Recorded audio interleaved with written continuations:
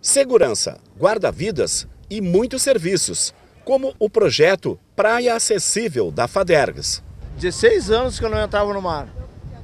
Tive um derrame cerebral há 16 anos atrás. A partir daí nunca mais entrei no mar. Hoje, tá aí, ó. Também meu banho. Na manhã ensolarada deste sábado, foi lançada a Operação Verão para Todos 2018 em Capão da Canoa. O vice-governador e coordenador da operação, José Cairoli, anunciou novidades.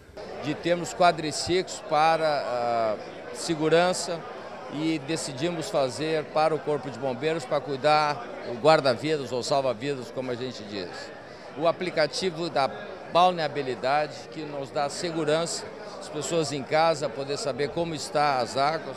Entendemos que isso é mais algum avanço que nós estamos fazendo em prol e benefício aqueles mais de 2 milhões e meio de gaúchos que estarão circulando nesses dois meses e meio aqui nas praias. Também foi lançada a 48ª Operação Golfinho.